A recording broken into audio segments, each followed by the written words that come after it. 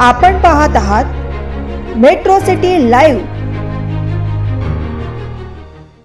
Shiv Sena Thackeray गट खासदार संजय राऊत यांच्यासाठी एक धक्कादायक बातमी आहे. त्यांच्या विरोधात अजामीनपात्र वॉरंट जारी करण्यात आलं आहे. शिवडी न्यायालयाने हे वॉरंट काढलं आहे. मेधा सोमय्या यांनी दाखल केलेल्या मानहानीच्या खटल्यात संजय राऊत वारंवार गैरहजर राहिल्याने न्यायालयाने हे वॉरंट बजावलं आहे.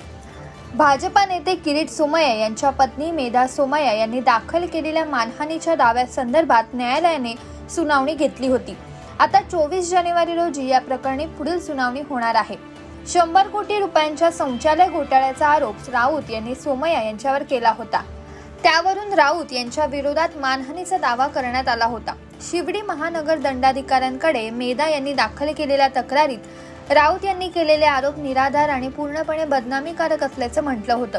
तसेच राऊत यांना नोटीस बजावून मानहानीच्या आरोपाखाली फौजदारी कारवाई सुरू करण्याची मागणी देखील केली होती.